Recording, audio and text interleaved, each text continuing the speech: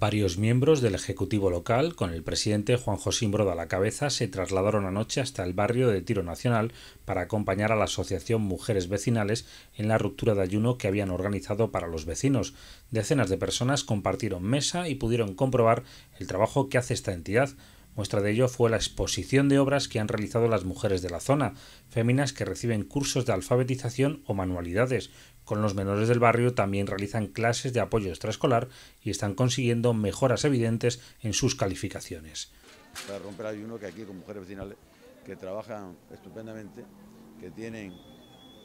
pues como 200 niños los cuales están apoyando en la educación suya, la, apoyan en la, educación lectiva